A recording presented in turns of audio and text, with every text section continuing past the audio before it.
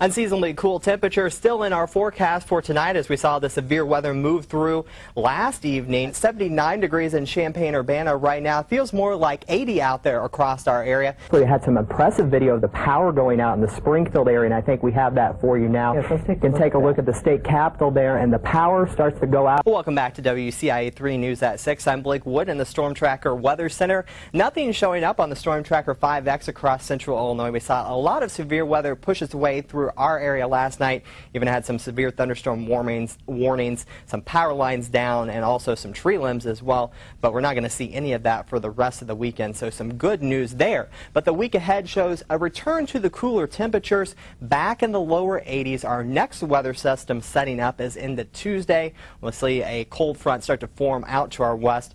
After that, the rain exits the picture, but we're going to see a return of those cooler temperatures. Our high temperature for today in Champaign-Urbana was 79 degrees. That's far below where we should be sitting for this time of the year. Should see a high of around 84 degrees. And we checked the records for back at this time last year, we were in the 90s, and we're not expecting those temperatures to return anytime soon. So we're going to be holding on to this unseasonably cold weather for a while. Low temperatures this morning 64 degrees in Champaign-Urbana, 68 our low in Danville, 65 the low in the Springfield area this morning. Temperatures have warmed up quite a bit since since then. 80 degrees, the current temperature in Watseka.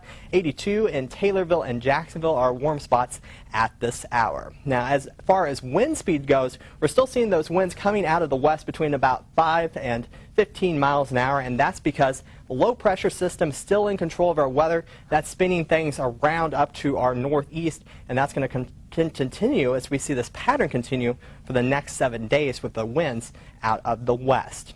As far as our 24-hour temperature change goes, the cold front still sitting across the southeastern part of our viewing area. As that starts to push off, we're seeing our temperatures drop on the backside of that front. The temperatures falling by about 6 degrees overnight uh, in the Springfield area, and we'll see our temperatures fall, then a little bit of a rebound as we head into your work week.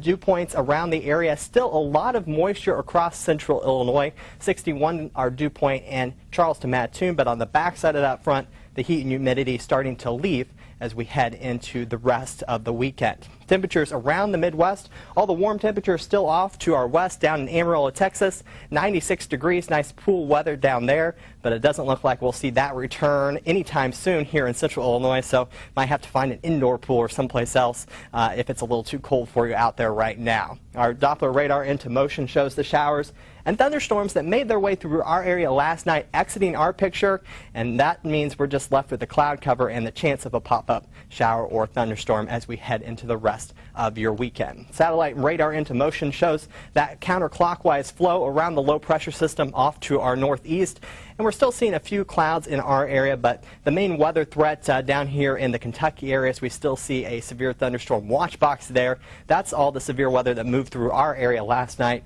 and they're now dealing with that down in that area. At the surface, we see the cold front that moved through last night exit our picture, but we'll see this new system forming off to our west. This will move through our area into Tuesday, so if you have plans during the day on Tuesday, might want to be cautious of this as it looks like we're going to get another chance of showers and thunderstorms in our forecast. Your forecast for tonight for Champaign-Urbana, Danville, and Decatur. A few clouds, a low of around 61 degrees for tonight. As we head into tomorrow, we'll see a high temperature of 82. The sun returns with a mix of clouds in there as well for Mattoon, Charleston, Springfield, and Effingham for tonight. 62 degrees, 83 for your Sunday, and on into the seven-day forecast. We see temperatures return along with the sun into Monday, then 85 for Tuesday, but the chance of showers and thunderstorms comes back into our forecast. The cold front moves through after that, drops things down a bit to 81 on Wednesday, then more of the same as we end your work week.